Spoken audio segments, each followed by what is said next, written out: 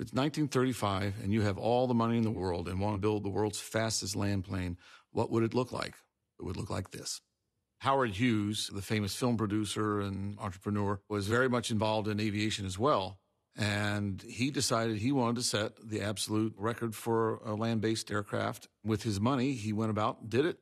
The Hughes Racer is a very sleek airplane, despite the fact that it has an air cooled engine, which produces a lot of drag.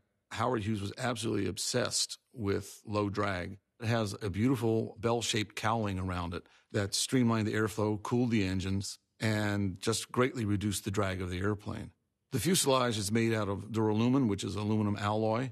It is beautifully put together. The wings, interestingly, are not made out of metal. They're made out of wood because the designers at that time felt that they could get a more accurate airfoil shape by using wood and carefully sanding it and resanding it and varnishing it.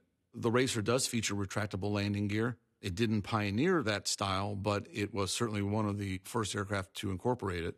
The workmanship on this aircraft is so good that when the landing gear is retracted, you cannot see the seam lines between the gear and the wing.